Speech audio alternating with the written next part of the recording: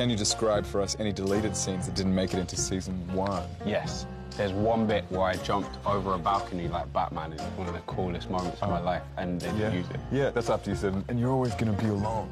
That's why you're always gonna be alone.